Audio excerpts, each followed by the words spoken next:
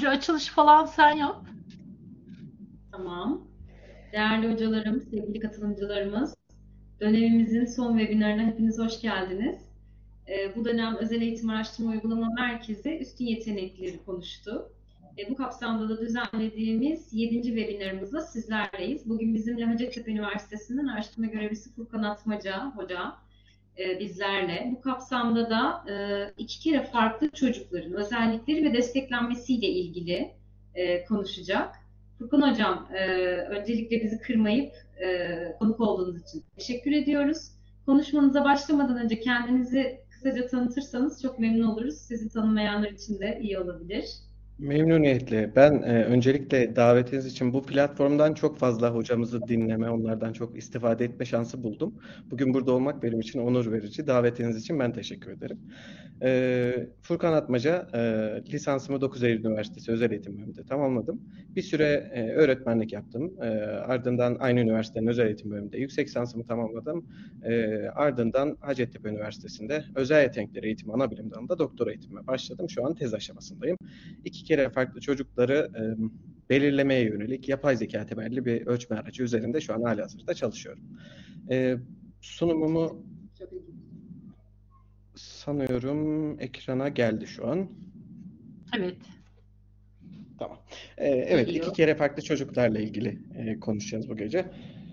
E, bu sanki biriyle baş edebilmişiz gibi bir velimin ifadesi. E, onu yer yer vurgulayacağım. E, biriyle baş edebilmiş miyiz de acaba ikincisiyle konuşuyoruz diye süreç içerisinde bunu e, belki beraber tartışırız, ortaya çıkarmaya çalışırız. E, katılımcılarımız, ben chat kısmını evet görebiliyorum. E, katılımcılarımızdan bir ricam olacak sunuma başlamadan önce. Ben üstün zekalı, özel yetenekli bir öğrenci dediğiniz zaman aklınıza gelen ilk özellik nedir? Onu yazmanızı rica edeceğim. Chat'e şu an herkes ulaşabiliyor hocam değil mi? Evet. Tamam. ulaşıyor olmaları gerekiyor. Hı hı. Üstün zekalı, özel yetenekli yetenekli bir çocuk dediğinizde aklınıza ne geliyor? Bir özellik, ilk gelen özelliği yazmanızı rica ediyorum. İlk ben yazayım. Geç kaldım.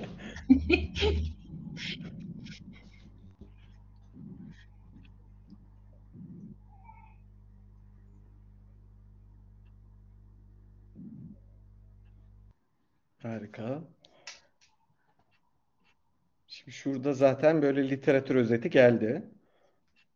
Varsa başka da kutunun dışında düşünmek güzel. Evet.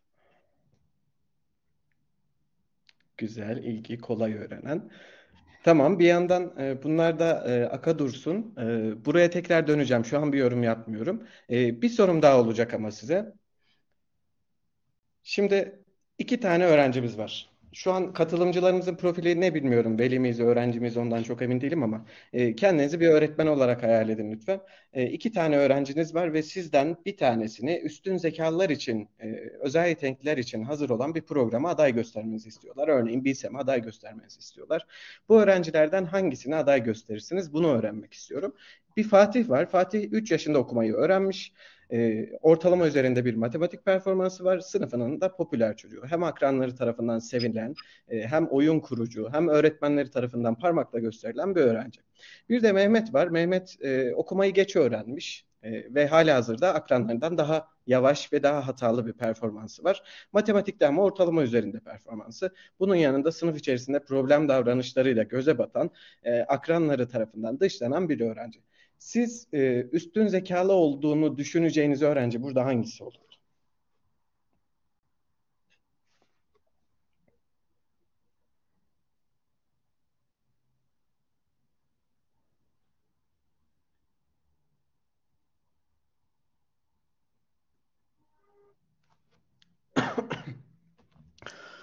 Evet, gelen ilk cevapları yoğun bir şekilde Fatih'e odaklanmış durumda. Bu aslında haklı da bir e, yaklaşım. Yani e, baktığımız zaman görünen bu. E, fakat biz bugün Fatih değil de Mehmet'i konuşuyor olacağız. Aslında hem Fatih hem Mehmet üstün zekalı olabilir de olmayabilir de. Bu göstergeler tek başına bize yeterli değil ama işaret olarak kabul edersek evet Fatih sanki daha üstün zekalar programına aday olabilecek bir öğrenci gibi. Fakat Bugün bu yanılgıyı konuşacağız aslında çünkü Mehmet de üstün zekalı olabilir. Şimdi bunu net bir şekilde anlayabilmek için e, öncelikle bir normal dağılımı tekrar edelim isterim. E, normal dağılım e, birçok yerde görmüşüzdür. E, şöyle özetleyebiliriz. Evrendeki, popülasyondaki birçok özelliğin e, bir ortalama etrafında büyük çoğunluğunun dağıldığını ifade eden bir matematiksel dağılım biçimi. Ee, örneğin erkeklerin ayakkabı numarası olarak düşünürseniz bunu farazi konuşuyorum. 42 numara yetişkin erkeklerin e, ortalama ayakkabı numarası olsun. İşte 40 ile 44 arasında değişir bu ayakkabı numarası. Yani %95'i erkeklerin bu e, aralıkta bir ayakkabı numarasına sahip olacaktır. Bunun yanında 56 numara ayakkabısı olan olmaz mı? Evet olur ama şuralarda yer alır. Yani e, yüz, sağ tarafta yer alır. %2,5'luk o küçük dilimde yer alır. 35 numarası olan da ayakkabı numarası olan biri de olabilir. O da sol tarafta yer alır. Şimdi aynı dağılım e, IQ skorlarının dağılımı da için, dağılımı için de geçerli ve bizim üstün zekalı olarak kabul ettiğimiz grup aslında e, ortalamanın e, manidar şekilde üzerinde performans sergileyen şu sağ taraftaki yüzde iki buçuk üçlük kısımda yer alan öğrenciler. Üstün zekalı olanlar bunlar. Şimdi üstün zekaya ilişkin, üstün zekalı öğrencinin özelliğine ilişkin gelen cevapların çoğunluğuna hatta şöyle bir tekrar göz atayım. Üst düzey düşünme becerileri var. Zeka e, ön plana çıkıyor. Yaratıcılık, merak, kuvvetli hafızaya sahip olmak, ilgi, e, kutunun dışında düşünmek, motivasyon gibi özellikler geldi. Bu özellikler evet üstün zeka zeka çocukların özellikleri olarak ifade ediliyor zaten alan yazında. Fakat burada şöyle bir problem var. Üstün zekalı çocuk deyince aklımıza direkt bu geldiği zaman e, örneğin okumada güçlük yaşayan bir çocuğun üstün zekalı olabileceğine ilişkin algımız çökmüş oluyor. Üstün zeka deyince aklımıza okumada güçlük gelmiyor. Üstün zeka deyince aklımıza e, işte sosyal anlamda çok dezavantajlı çocuklar gelmiyor. E, dolayısıyla e, bu e, bizim iki kere farklılığı algılamamızı güçleştiren bir unsur haline dönüşüyor. Şimdi e, baktığımız zaman çok e, son yıllarda konuşulmasına rağmen ortalamanın üzerinde bir IQ'ya bilişsel yeteneğe sahip olan ama aynı zamanda akademik başarısı ortalamada veya ortalamanın altında kalan bir grup öğrenci var ki biz bunlara e, iki kere farklı diyoruz. Şöyle bir formal olarak duruma bakarsak herhangi bir alanda ortalama üzeri performans, yetenek sergileyen öğrencinin en az bir gelişimsel alanda da yetersizlik yaşaması durumuna iki kere farklılık diyoruz. Şimdi bu tanım itibariyle aslında çok karmaşık, çok heterojen bir gruptan bahsediyoruz. Çünkü mesela görme yetersizliği olan ama aynı zamanda muhteşem bir müzik yeteneği olan çocuğu da bu gruba alabiliriz. İki kere farklı olur. Yalnız e, Alanyaz'ın bu konuda çok sınırlı ve gördüğümüz çalışmaların genellikle üç gruba odaklandığını e, tespit edebiliyoruz. Bunlar öğrenme güçlüğü, dikkat eksikliği, hiperaktivite bozukluğu ve otizm spektrum bozukluğuna eşlik eden üstün zeka. Şimdi temel hedefimiz bu çocukların e, uygun eğitsel hizmetlere kavuşması tabii ki e, ve e, bunu yapabilmek adına öncelikle onları fark etmemiz lazım. Şimdi bu çocuklar kaç tane sorusunun cevabının e, net olarak e, şu an ilk kısımdaki şu en başta bilmiyoruz yazıyor ya onun dışında net bir cevabımız yok. Aşağıda gördüğünüz belirli veriler var. E, fakat e, bu grup çok karmaşık, çok komplike. Birazdan detaylarını konuşacağız. E, yapıya sahip olduğu için bu grubu belirlemek çok zor. Dolayısıyla bunların e, varlığına ilişkin e, bir olasılık istatistik hesaplaması yapmak da çok güç hale geliyor. E, fakat alan yazında bir iki e, çalışma var bu konuyla ilgili. Veri veren çalışma var. E, örneğin öğrenme güç, güçlüğü grubunda üstün zekanın e, hangi olasılıkla görüldüğünü inceleyen bir araştırma var. 2017 yılında yayınlanmış bir çalışma. Ve burada e, öğrenme güçlüğü olan çocukların yaklaşık yüzde dördünün üstün zekalı olduğunu belirliyorlar. Genel popülasyonda bu oran yüzde iki civarında. Yani öğrenme güçlüğü olan çocuklarda e, üstün zeka görülme olasılığı daha yüksek gibi bir sonuç çıkıyor. Ama bu şu demek değil ki bazen e, yanlış e, şekilde de bu e, lanse ediliyor. Her öğrenme güçlüğü olan çocuk üstün zekalıdır. E, algısını tamamen aşmak gerek. Çünkü öğrenme güçlüğü olan çocukların bu veriye göre yalnızca yüzde dördü üstün zekalı. Yani bunu böyle e, bazen e, çok böyle pozitif bir şey gibi ifade ediliyor. E, sahada. Örneğin işte disleksi bir mucizedir, bu çocukların hepsi çok yaratıcıdır, e, otizm bir mucizedir gibi. E, fakat otizmde öğrenme güçlüğü de bireyin e, ciddi anlamda eğitsel hayatını, sosyal yaşantısını etkileyen ve destek almaya ihtiyaç e, duymasına sebep olan önemli yetersizliklerdir. Özel eğitime ihtiyaç duyan bireylerdir. Bunları e, övmenin bir anlamı olduğunu düşünmüyorum. Ama bunu, bu grupların içerisinde üstün zekalı olan, çok yetenekli olan çocuklar da var. E, veriler bunu gösteriyor. Ee, birkaç ay önce Exceptional Children dergisinde yayınlanmış bir simülasyon çalışması var. Bu çalışmada e, farklı kriterler kullanılarak iki kere farklılığın evrende görülme olasılığını hesaplıyorlar. Ve e, üç farklı kriterde üç birbirinden çok farklı sayı elde ediliyor, oran elde ediliyor. Bir kritere göre yüzde on dört olurken bir kritere göre binde iki gibi bir sayıda elde edilebiliyor. Nihayetinde şunu söyleyebiliriz. Bu grup için kesin bir sayıdan, kesin bir orandan bahsetmemiz çok zor ama e, alan yazındaki bulgular e, böyle bir öğrenci grubunun hem matematiksel olarak hem de realitede e, var olabildiğini gösteriyor. Oranları, sayıları nispeten düşük. E, aşağıda gördüğünüz kısmı e, ben bu sunum öncesinde bir de ben simülasyon çalışması yaptım. Alanya çok teknik detayına girmeden işte Monte Carlo simülasyon çalışması yaptım. E, bir IQ profili bir de okuma yazma başarısına ilişkin 100 bin veriden oluşan bir veri seti hazırlayıp burada üstün zekalıların ne kadarında okuma matematik güçlüğü görülebilir diye bir olasılık hesabı yaptığımda da e, yukarıdaki bulgularla tutarlı olabilecek şekilde yaklaşık %4 %5 arasında üstün zekalı çocuğun, üstün zekalı bireyin e, öğrenme güçlüğüne sahip olma ihtimalinden söz edebiliriz. Şimdi bu oranlar evet küçük yani üstün zekalı öğrenci grubu yüzde üç. Onun içerisinde de 100 üstün zekalı çocuğun dördünde beşinde bu durum görülebiliyor. E, fakat bizim gibi kalabalık bir ülkede 85 milyonluk bir ülkede bu oran ne kadar küçük olursa olsun çok ciddi bir sayıya tekabül ediyor. Dolayısıyla ülkemizde de böyle bir e, kalabalık gruptan bahsedebiliriz. Ama bu gruba ilişkin ülkemizdeki hizmetler oldukça sınırlı. Bunun en temel sebeplerinden bir tanesi bizim bunları fark edemiyor olmamız ve bunun yine temel sebebi de maskeleme dediğimiz bir kavram. Maskeleme e, aslında özet haliyle güçlü ve zayıf alanların birbirinin görünürlüğünü engellemesi şeklinde ifade edilebilir. Yani e, örneğin bilişsel alanda çok güçlü, yetenekli bir öğrencimiz var fakat akademik becerilerinde güçlükler yaşıyor, zayıf. Bu durumda bir öğretmen bu çocuğun güçlü yönlerini sadece fark edip o yönde bir yönlendirme yapabilir ya da zayıf yönlerini fark edip o yönde bir yönlendirme yapabilir. Nihayetinde ikisi birbirini örtüp ortaya tipik gelişen bir öğrenci profili çıkarabilir. E, her halükarda maskeleme dediğimiz kavram iki kere farklı öğrencilerin belirlenmesinde çok güç e, güçleştiren süreci bir unsur. Bir e, farklı alanlarda görülmesinin ötesinde bir de bir alanın içerisinde de bu durumu görebiliyoruz. Bir metaanaliz çalışmamız var e, ve bu çalışma sonucunda şunu belirledik. E, sözel ve sözel olmayan yetenek alanlarından güçlü olan iki kere farklı e, öğrencilerin e, çalışma belleği ve işlemleme hızındaki yetersizlikleri sebebiyle bu beceriler birbirlerinin görünürlüğünü engelleyebilip maskeleme ihtimali söz konusu. Şimdi bu maskelemenin sonucunda aslında iki kere farklı olan öğrenciler e, üç gruba ayrılıyorlar. E, sırayla üç grup bunlar. Dördüncüyü ben ekledim olması gereken şeklinde. Şimdi yine bir öğrenme güçlüğü olan üstün zeka çocuk üzerinden örnekleyelim. Çocuğun e, akademik başarısındaki yetersizlikleri annesi babası veya işte öğretmeni tarafından fark edildi diyelim. Ve bu şekilde bir yönlendirme yaptık. Çocuk öğrenme güçlüğü tanısı aldı, destek almaya başladı. E, buraya kadar süper. Fakat bu çocuğun çok güçlü bir bilişsel yeteneği var ve biz bunu görmezden geliyoruz ve desteklemiyoruz.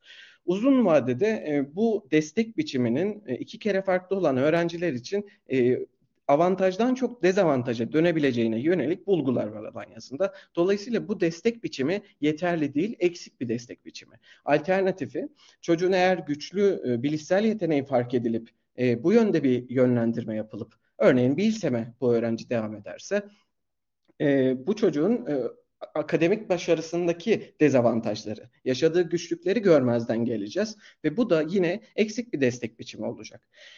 Nihayetinde e, iki tarafında bir, birbirini maskelediği durumda e, ki alan yazında en çok e, görülen grubun bu olduğu ifade ediliyor. E, bu çocukların hiçbir destek almaması söz konusu. Yani akademik başarısı e, nispeten alt sınırda kalıyor. E, bilişsel yeteneği iyi ama işte o onu tolere ediyor ve tipik gelişen akranlarıyla eğitim sistemine devam edip gidiyor. Burada artık bir destek bile yok. Yani herhangi bir e, ne zayıf yana ne güçlü yana destek almıyor. Dolayısıyla en dezavantajlı grup bu. Peki ideal olan ne? E, iki kere farklı olduğunu belirleyip bu çocukların güçlü ve zayıf yönlerini tespit edip onlara yönelik e, hizmet sağlamak. Şimdi iki kere farklılık bir tıbbi tanı değil, üstün zeka gibi e, bu da bir aslında eğitsel kavram. Dolayısıyla bu e, bir tık eğitimcilere kalan bir boyut. Fakat e, öğrenme güçlüğü, otizm spektrum bozukluğu, otizm spektrum e, bozukluğu gibi e, durumları da iyi tanıyan bir grubun e, ele alması gereken bir konu. Dolayısıyla çok multidisipliner, e, birbirinden farklı uzmanlık alanlarının bir araya gelmesini gerektiriyor. Şimdi e, farklı e, başlıklar altında birkaç başlıkta çocukların e, durumları neler Alanya'sından onu derlemeye çalıştım. Yine iki kere farklı olan öğrencilerin bilişsel profillerine baktığımız zaman şöyle bir şey görüyoruz. E, bu çocukların e, sözel ve sözel olmayan bilişsel yetenek alanlarında üstün zekalı çocuklar kadar performans sergilediğini, onlarla benzer bir performansa sahip olduklarını görebiliyoruz. Fakat e, birçok e, özel gereksinim grubunda olduğu gibi ilginç bir şekilde burada da çalışma belleği ve işlemleme hızı e, bu grup için dezavantajlı olduğu alanlar. Yani e, özellikle öğrenme güçlüğünün e, çalışma belleğinde e, üstün zekalı akranlarından ayrıştığını biliyoruz. İşlemleme hızında da öğrenme güçlüğü, dikkat eksikliği ve otizmin e, üstün zekalı, sadece üstün zekalı olan gruptan ayrıştığını biliyoruz. E, fakat burada ifade etmem gereken bir konu var. Buradaki ayrışmadan kastımız çocuğun kendi diğer skorlarına göre bir dezavantaj. Yani e, öğrenme güçlüğü olan üstün zekalı çocuk çalışma belleğinde norm grubunun altında bir performans sergilemiyor olabilir. Aksine ortalama düzeyde bir performans sergiliyor olabilir ki geneli de bu şekilde görülüyor. E, fakat bu çocuk üstün zekalı akranlarından diğer alanlarıyla benzer olmasına rağmen bu alanda farklılaşıyor. Yani buradaki dezavantaj çocuğun kendisi içerisindeki dezavantaj. Dolayısıyla burada değerlendirme yaparken çocuğu bir norm grubuyla karşılaştırmak yine e, maskelemenin en büyük sebeplerinden bir tanesi haline dönüşüyor.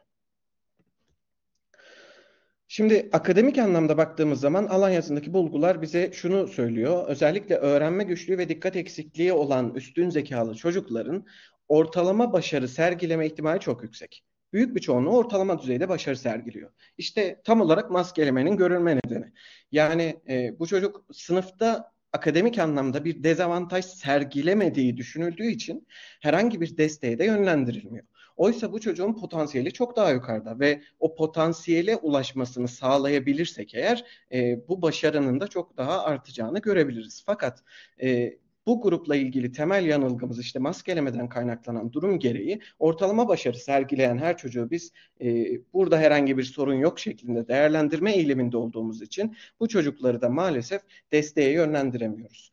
E, çok fazla otizm grubu ile ilgili yani otizmli üstün zekalı grupla ilgili çok e, kapsamlı genellenebilir dış geçerliği yüksek çalışmalara ulaşamıyoruz ama var olan çalışmalar şunu gösteriyor. Otizmli e, üstün zekalı bireylerin akademik başarısı ortalamanın üzerinde seyrediyor. Fakat dediğim gibi bunun genellenebilir olması için biraz daha çalışmalara ihtiyaç var gibi görünüyor.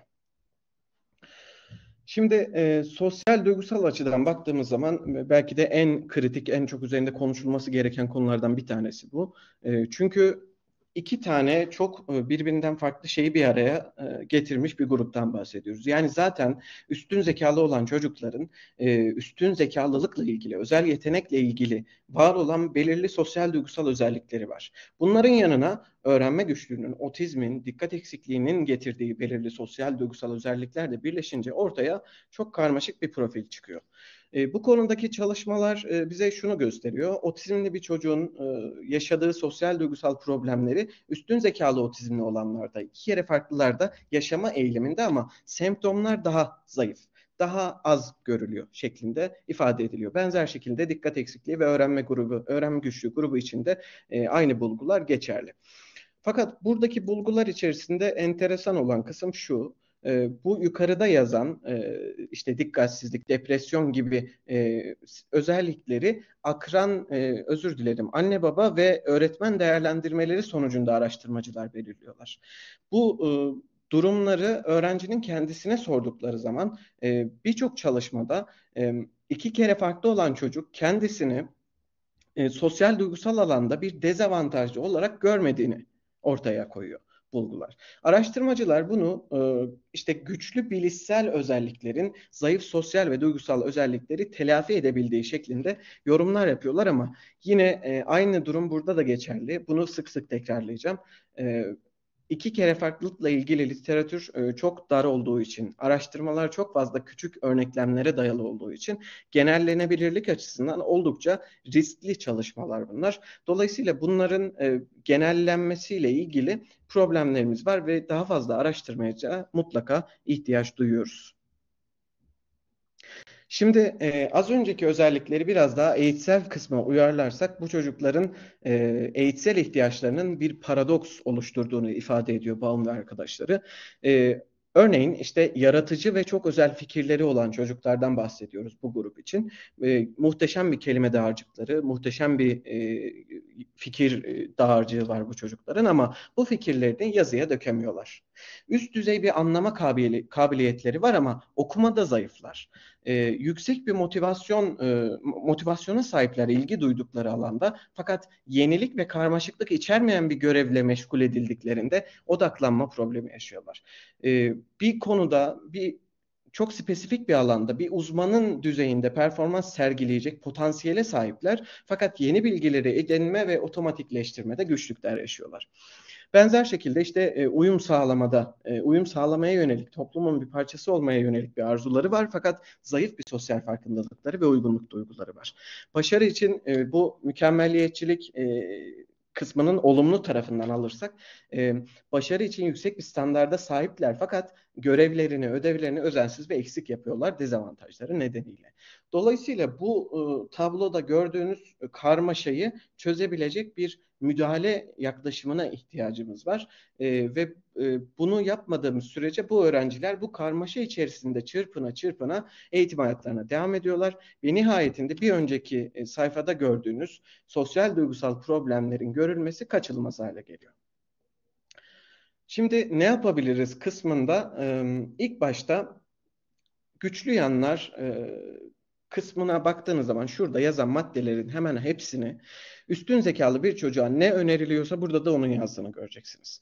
Burada iki kere farklı çocuklar için önerilen stratejiler bunlar. Yani e, eleştirel ve yaratıcı düşünme becerilerinin mutlaka bu çocukların eğitsel süreçlerinde yer alması gerektiğini, işte bu çocukların bir proje üzerinde özellikle bağımsız çalışmalar yapabilmelerini, grup halinde projeler üzerinde çalışmalar yapabilmelerini, gerçek yaşam problemleriyle farklı disiplinlerin bir arada olduğu temalarda çalışmalar yapmaları gerektiği ifade ediliyor.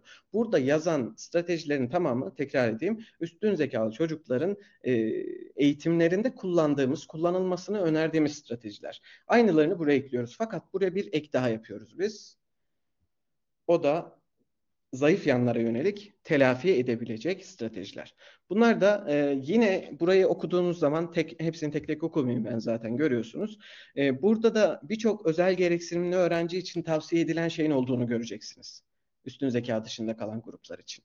Yani bu çocukların e, dezavantajlarının üstesinden gelebilecekleri çeşitli stratejileri de sürece dahil etmemiz lazım. Örneğin bellek stratejilerini kullanmayı öğretip e, bellekte yaşadıkları dezavantajların üstesinden gelmelerini sağlamak gibi. Not tutmak e, gibi çalışma becerilerini geliştirmek şekliyle. Veya işte teknolojik e, araçları kullanmalarını teşvik ederek e, gündelik hayata bağımsız bir şekilde hazır olmalarını sağlamak gibi. Nihayetinde bunu e, genel bir çerçevede özetlersek en temel problemimiz bu çocukları fark etmekle ilgili şu an konuştuğumuz temel problem bu. E, dediğim gibi bu çocukların güçlü ve zayıf yanları öyle bir paradoks haline geliyor ki biz bunları fark edemez hale geliyoruz. E, bunları fark edebilmemiz için mutlaka çok kapsamlı bir değerlendirme süreci ve güçlü ve zayıf yanların çok e, detaylı bir şekilde dokümante edilmesi süreci yer alması gerekiyor. Bakın burada e, herhangi bir özel gereksinimli öğrenci için önerilen şeylerden çok farklı bir şey görmeyeceğiz. Burada farklı olan tek şey şurası ki benim Bence e, vurgulamamız gereken kısımda dördüncü basamak. E, güçlü yönleri alan bir program. Şimdi e, bu konudaki yine çalışmalar kısıtlı ama e, uzun boylamsal olarak yapılan bir iki e, çalışmada şu bulgulanıyor. E, özellikle pozitif yanlara odaklanan, bu çocukların güçlü ve yetenekli olduğu adak, oldukları alanlara odaklanan bir program biçiminin çocukların daha mutlu, daha keyifli ve daha verimli bir eğitim sürecine e, dahil edilmesini sağlıyor. Dolayısıyla şu an günümüz e, şeyine baktığımız zaman, alan yazınına baktığımız zaman önerilen temel yaklaşım güçlü yanları temele alan bir yaklaşım. Yani bunu şöyle biraz daha realist bir yaklaşımla ülkemize uyarlarsak. Şimdi son e, birkaç yıldır yayınlanan çalışmalarda belki daha öncesinde de vardır ama son yıllarda daha sık görmeye başladığım bir şey var. Tek bir program her çocuğa uymaz. Şimdi özellikle Amerika menşeli yayınlarda bunu çok görüyorum. E, biz sınıfımızda bir program uyguluyoruz ve bu sınıfta bütün çocukların e, bu programdan verim almasını hedefliyoruz. Programdan kastım da işte bir konuyu tek bir anlatım biçimiyle çocuklara anlatıp onların hepsinin öğrenmesini beklemek. Şimdi bırakın e, öğrenme güçlüğünü, bırakın üstün zekayı zaten tipik gelişen dört öğrencinin dördü de farklı yollarla öğrenebiliyor. Dolayısıyla bu yaklaşım biçimi zaten birçok çocuğu ayrıştırmaya müsait ve e, bizim e, ayrıştırıcı bir sistem içerisinde iki kere farklı olan öğrenciyi o sisteme dahil etme şansımız çok zayıf. İki kere farklı öğrencinin eğitimini konuşurken çok ideal bir şeyden bahsediyoruz. Her çocuğun güçlü ve zayıf yanlarını belirleyip e, her çocuğun güçlü ve zayıf yanlarına yönelik destek sağlamak. Dolayısıyla buradan ben özellikle genel eğitim programına çok şey e, fikir olarak, felsefe olarak çok katkı sağlanabileceğine inanıyorum şahsen. Bir diğer boyut özel eğitim ve rehabilitasyon merkezleri e, ya da işte özel gereksinimli olan öğrencilerin e, genel eğitim sınıflarından ayrıştırılarak aldığı eğitimleri hesaba katalım. Biz e, özel eğitim perspektifinden bu çocukların akranlarından geride kaldıkları becerileri belirleyip, alanları belirleyip onlara yönelik destek sağlama eğilimindeyiz. Temel temel e, hedeflerimizden bir tanesi bu. Akranlarının seviyesine ulaşması. Fakat işte iki kere farklılık söz konusu olduğunda bu süreç e, örneğin işte özel eğitim rehabilitasyon merkezinde şu an eğitimlerine devam eden, benim de takip ettiğim, öğrenme güçlüğü olan, otizm e, spektrum bozukluğu tanısı olan çocuklar var. Fakat bu çocuklara az önce bahsettiğim gibi güçlü yanlarını destekleyecek bir yaklaşım sunamıyoruz bu merkezlerde. Oysa e, Bence bu konuyu konuşurken bu sürece özellikle BEP'in içerisine nasıl e, daha üst kazanımlar eklenebilir? Çocukların nasıl daha yetenekli olduğu alanları da BEP'e dahil edebiliriz? Perspektifini biraz konuşmamız gerekiyor gibi düşünüyorum. Bir diğer taraf Bilsemler. Bilsemlerin Tabii ki şu an tek kurum ülkemizde üstün zekalılar e, eğitimiyle ilgili olan tek kurum olduğu için ondan bahsediyoruz ama e, Bilsem üzerinden gittiğimiz zaman üstün zeka çocukların da e, resmi olarak aslında BEP e, yapılması gerekiyor bu çocuklara. E, onlar da çünkü kaynaştırma öğrencisi. E, fakat az önce bahsettiğim konu üst kazanımlar için BEP nasıl yapılır sorusunun cevabını çok net koyabilmiş değiliz. E, bunları netleştirmeden iki kere farklı öğrenciye çok destek sağlayamayacağız gibi görünüyor. E, Bilsem süreci içerisinde tanılama genel zihinsel yetenek grubu için konuşuyorum. Tanılama modelinden içeride yürüyen program biçimi biçimine kadar iki kere farklı olan öğrenciye yönelik uyarlamayı destekleyecek şu an herhangi bir sistemimiz yok. Tabii ki bununla ilgili öğretmenlerin şahsi çabalarıyla çeşitli uygulamalar yapılabiliyor. Ee, ama resmi olarak bu sistemi e, sağlayacak henüz böyle bir yapı mevcut değil.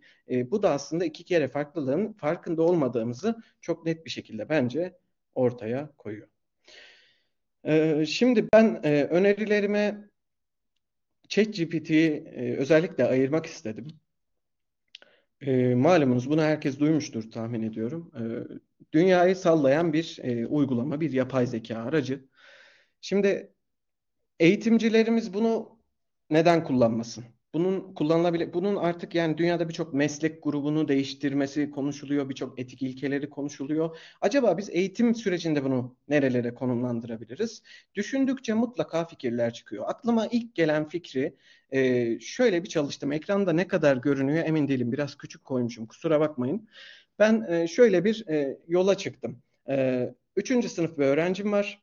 E, iki kere farklı okuma güçlüğü yaşıyor ama üstün zekalı ve e, öğrencim dinozorlara çok meraklı. Dinozor türlerini ezbere biliyor. Onlar hakkında konuşmaktan muhteşem keyif alıyor ama okumaya yönelik motivasyonu çok düşük. Ben e, bir dinozor hikayesi e, oluşturup bu öğrencimin ilgisini, dikkatini oraya çekip okumayı da keyifli hale getirmek istedim. Ve ChatGPT'ye sadece 3. sınıf öğrencilerinin düzeyine uygun dinozor türleri hakkında kısa bir öykü yaz dedim. İki saniye içerisinde bana bir öykü geldi. Ee, şimdi bunu e, mesela çok spesifik hale de getirebiliyoruz. Örneğin 150 kelimelik bir öykü yaz dediğinizde 150 kelimelik yazıyor. Veya diyelim ki çocuğunuzla, öğrencinizle çok e, spesifik belirli kelime gruplarını çalışıyorsunuz veya e, belirli ek yapılarını çalışıyorsunuz. Onları belirtip işte şu kelimeden şu kadar geçsin, şu ek biçiminde olan kelimelerden şu kadar geçsin diye uyaranlar verdiğinizde onları da hızlıca hazırlayıp önünüze koyuyor. E, yetiyor mu yetmiyor. Ben bu e, hikaye için bir okuduğunu anlama e, soruları hazırla dedim. Pat diye beş tane soru verdi. Sonra biraz zorlayayım dedim. E, ve ikisi dört şıklı çoktan seçmeli, ikisi boşluk doldurma ve birisi de açık uçlu olacak şekilde bu soruları yeniden hazırla dedim. Onu da hızlıca hazırlayıp verdi. Şimdi bu sadece bir e, metin hazırlama örneği bakın. Burada yapılabileceklerin sınırı tamamen sizin hayal gücünüze bağlı ve bunu e, ne kadar hızlı bir şekilde eğitim sistemimize adapte edersek o kadar hızlı bir şekilde e, gidişatı yakalayacağız diye düşünüyorum. İşin bir bu boyutu var, bir de şu boyutu var. Biz iki kere farklılık üzerine konuştuğumuzda aslında çok yenilik, e, yeni fikirleri olan, çok yaratıcı çocuklardan bahsediyoruz dedim. Ve ChatGPT gibi uygulamaları yapabilen çocuklardan, yapabilecek çocuklardan bahsediyoruz diyorum. Şimdi ChatGPT'nin sahibi olan OpenAI şirketinin birkaç ay içerisinde aldığı yatırım miktarı bizim ülkemizin cari açığından daha fazla, birkaç kat, birkaç kat daha fazla.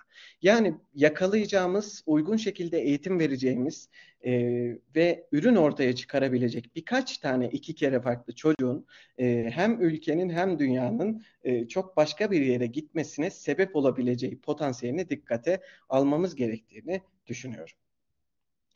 Şimdi e, bir film bir de kitap önerim olacak sizlere. E, özellikle bir tane koydum. E, burayı çok daha yığıp e, dikkatleri dağıtmak istemedim. Çünkü bu benim favorim. E, Gökyüzü kadar kırmızı diye e, Türkçe'ye çevriliyor. Bir İtalyan filmi. E, görme yetersizliği olan ama muhteşem yaratıcı bir çocuğun gerçek hayat öyküsünden uyarlama bir filmi. Bu iki saatlik bir zaman ayırıp sonra bana teşekkür edeceğinizi düşünüyorum. Şimdi filme e, film konusu gelmişken sadece e, bir keyif alma aracı olarak e, düşünebiliriz. Buna e, okeyiz ama bir de şu boyutu var bu işin. Özellikle sine terapi gibi çeşitli uygulamalarla bu çocuklara ilişkin farkındalık aracı olarak kullanılabiliyor filmler. Yine iki kere farklı e, karakterleri olan filmleri incelediğimiz makalemiz var. Oradan belki diğer filmlere de bakılabilir. E, bu e, filmleri nasıl kullanabiliriz? Anne babalar e, öğretmenler, çocuğun akranları ve nihayetinde iki kere farklılığın iki kere farklı çocuğun kendisinin kendi duygularını anlaması için muhteşem araçlar haline gelebiliyor. Özellikle bir e, rehberlik uzmanı PDRC ile birlikte bir sine terapi uygulaması tasarlayıp bunu eğitim sürecine yine dahil edebileceğimiz bir materyal olarak görebiliriz. Bunu yapmak zorunda değiliz ama şu filmi izledikten sonra e, bugünkü konuşmalarımızı da aklınızdan bir geçirirseniz ne demek istediğimi anlayacağınızı düşünüyorum. Zaten herkesin muhtemelen çoğunluk özel eğitim grubu burada. E, Temple Grandin gibi filmleri izlediğini düşünüyorum. Bakın oradaki karakterler de aslında iki kere farklı. E, bu hani şey yanlış anlaşılmasına da bazen gidebiliyor. İşte her otizmli çocuk çok yeteneklidir gibi bir yanlış kısma da gidebiliyor. Bunu iki kere farklılık perspektifinden tekrar gözden geçirmenin yararlı olacağına inanıyorum. Bir de kitap önerim var. Burada da bir Asperger'li çocuğun hikayesi e, anlatılıyor. Yine e, ben bunu mesela lisansta e, hocalarımız tavsiye etmişti. O zamandan okumuştum. Ama sonradan e, iki kere farklılık literatürünü gördükten sonra ben bu kitaba dönünce daha farklı şeyler görmeye başladım. Nihayetinde e, önerdiğim çok keyifli kitaplardan bir tanesi. E, seçili kaynaklar ekranda. E, bunun dışında e, Türkiye'de konuyla ilgili yazılmış tezler var. İki kere farklılık üzerine son yıllarda yayınlar çıkıyor. Ahmet Bildiren Hoca'nın güzel yayınları vardır bu konuda. Ee, Ankara Üniversitesi'nden hatta iki tane tez. Bir tanesi Saide Nur Duyar'ın, e, bir tanesi e, ismini hatırlayamadım hocam kusuruma bakmasın. Fakat Cevriye Hoca'nın öğrencisiydi yanlış hatırlamıyorsam. E, Anadolu Üniversitesi'nden otizmli üstün zekalı çocuklarla ilgili bir tez var. Ee, bir de e, Seda arkadaşımın e, Hacettepe'de yazdığı e, konuya ilişkin bir tez var. Literatürün durumunu görmek için yakın zamanda yayınlanmış tezlere de bakmak yararlı olabilir. Onun dışında öğrenme güçlüğü ve özel yetenek başlıklı kitapların hemen hepsinde iki kere farklılığa ilişkin bir bölüm vardır. Onlardan yararlanılabilir. Ekstra kaynak ihtiyacı olursa mail adresim paylaştım. Oradan Dileyen olursa memnuniyetle farklı kaynaklarda paylaşırım.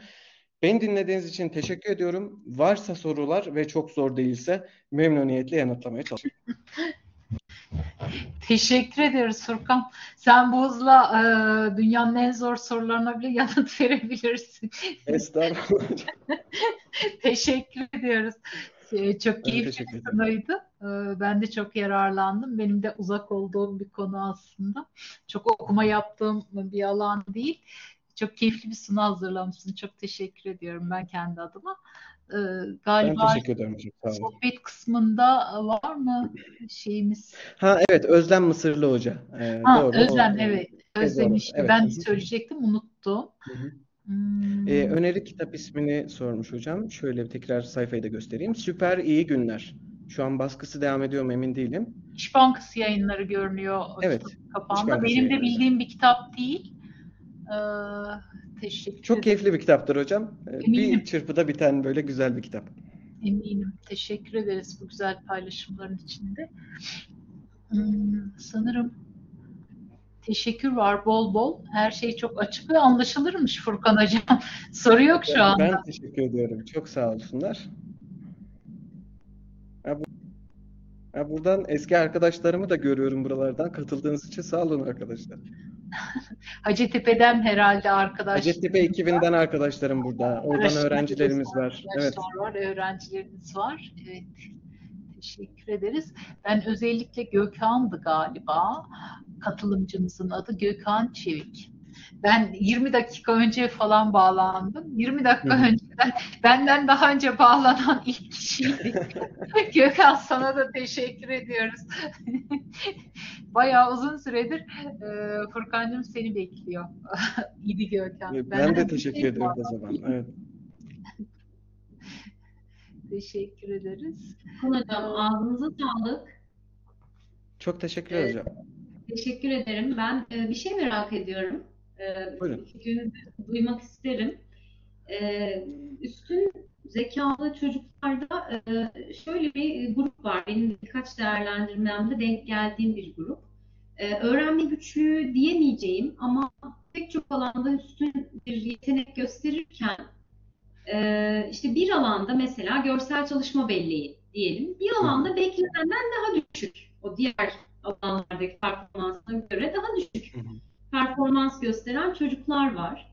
Ee, bunlarla ilgili ne söyleyebiliriz bu çocuklarla ilgili? Hocam e, bu grupla ilgili söyleyebileceğim yine bizim meta-analiz çalışmasına atıf yapacağım. Şunu e, tespit edebiliyoruz. Özellikle çalışma belleği ve işlemleme hızının e, ilişkili olduğu alt testlerde bir bütün halinde dezavantaj söz konusuysa mutlaka onun e, ileri akademik becerilerini de değerlendirip bir e, profil ortaya koymak yararlı olacaktır. Ama bazen e, üstün zeka çocukların kendi içerisinde de bu heterojenite söz konusu olabiliyor. Yani çalışma belleği ve işlemleme hızının diğer alanlara göre daha düşük olduğu üstün zeka çocuklar ama hiçbir problem yaşamayan çocuklar söz konusu.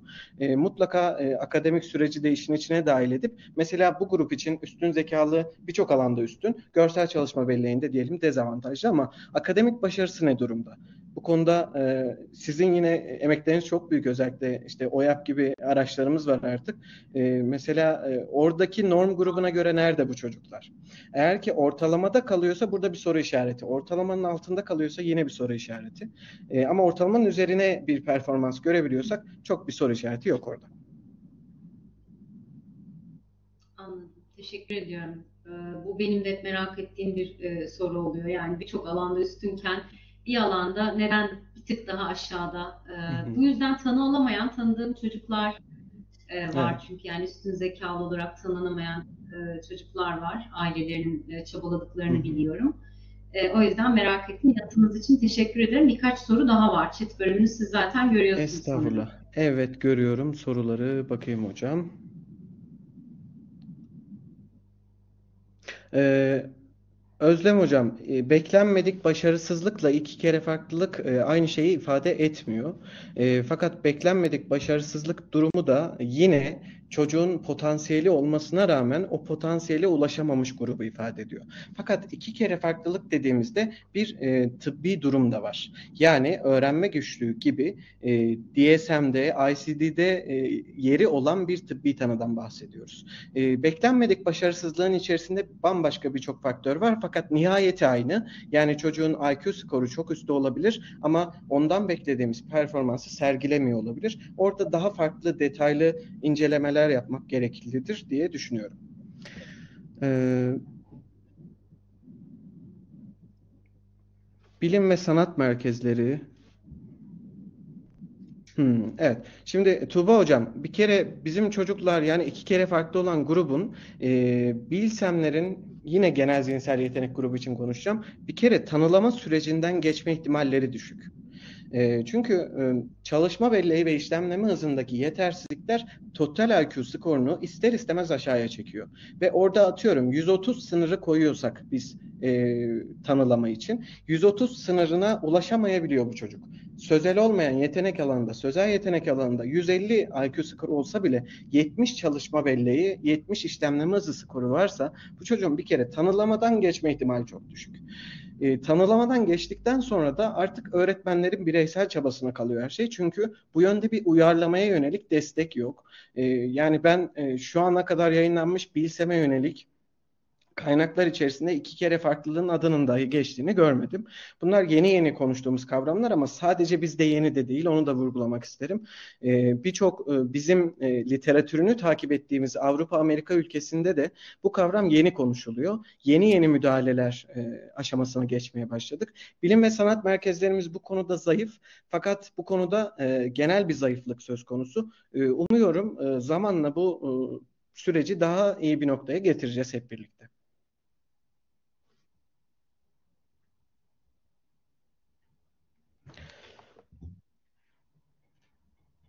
Evet Aysun hocam. Ee, şimdi zaten e, evet çok e, burası da enteresan bir nokta. Şimdi biz mesela üstün zekalı bir çocuğumuz var diyelim ve çok yetenekli. Hani hep şeylerde duyarız böyle haberlerde. Amerika'da bir çocuk 10 yaşında üniversiteyi bitirdi. Bu çocuklar sadece Amerika'da mı? Hayır bizde de var. Ama bizde üniversiteyi bitirmesine izin vermiyor sistem. Yani çocuk hızlı gidebilecek potansiyele sahip olsa bile üstün zekalı çocuğa biz diyoruz ki en fazla bir sınıf atlayabilirsin. Fazla ileri gidemezsin. Ne yapabiliriz?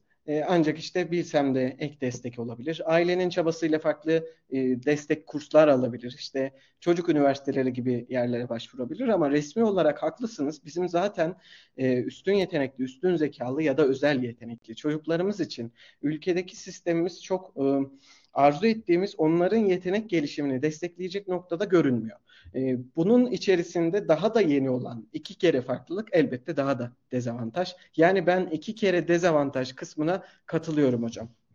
Güzel bir tabir oldu bence.